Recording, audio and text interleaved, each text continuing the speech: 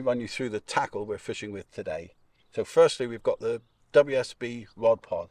Now this comes complete with the uprights, the buzzer bars, six heads, and three drop bite indicators.